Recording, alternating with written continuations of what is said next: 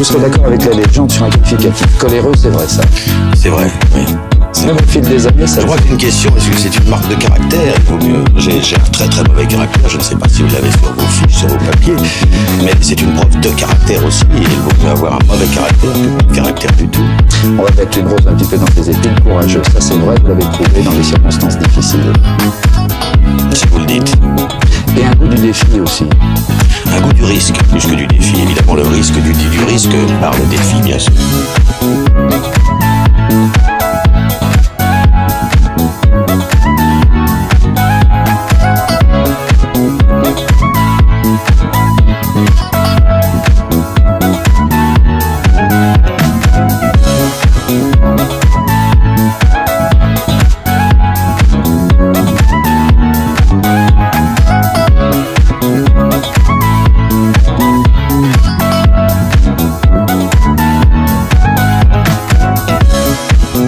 C'est simplement un besoin de, besoin d'action, un besoin de renouveler des passions nouvelles.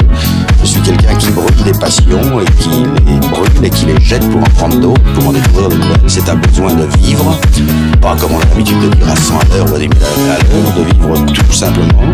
C'est un besoin de ne pas perdre de temps, j'estime. J'ai toujours dit que je n'avais pas le temps de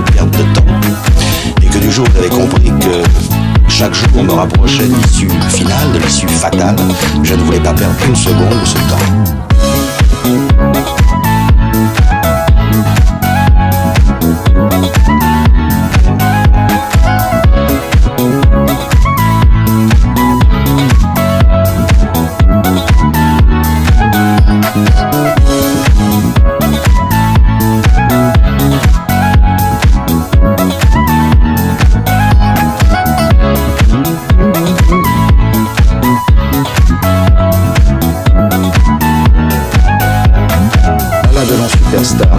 Vous acceptez ce label